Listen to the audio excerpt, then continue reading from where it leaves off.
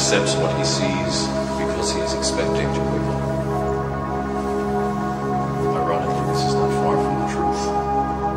Do you believe in fate? No. Why not? Because I don't like the idea that I'm not in control of my life. I know exactly what you mean. Let me tell you why you're here. You're here because you know something. What you know you can't explain, but you feel it.